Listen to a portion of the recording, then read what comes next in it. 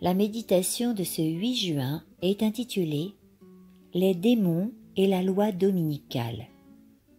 Et il lui fut donné d'animer l'image de la bête, afin que l'image de la bête parlât, et qu'elle fit que tous ceux qui n'adoraient pas l'image de la bête fussent tués.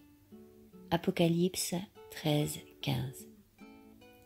La puissance miraculeuse du spiritisme exercera son influence contre ceux qui obéissent à Dieu plutôt qu'aux hommes.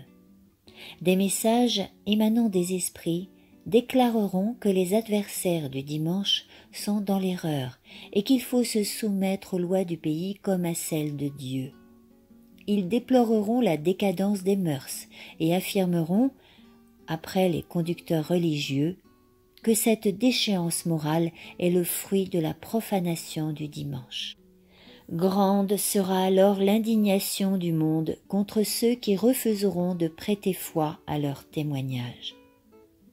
Ceux qui s'élèvent contre le spiritisme ne font pas la guerre à des hommes seulement, mais au diable et à ses anges.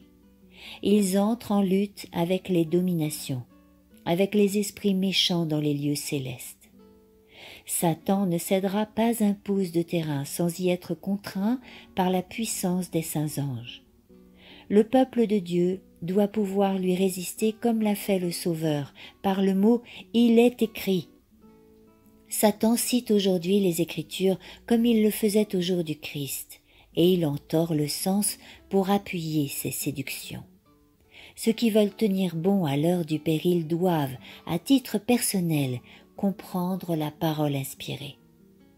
Bien des personnes seront visitées par les esprits de démons personnifiant des parents ou des amis défunts qui leur enseigneront les hérésies les plus dangereuses. Ces intrus feront appel à leur plus tendre sympathie et appuieront leurs dires par des miracles.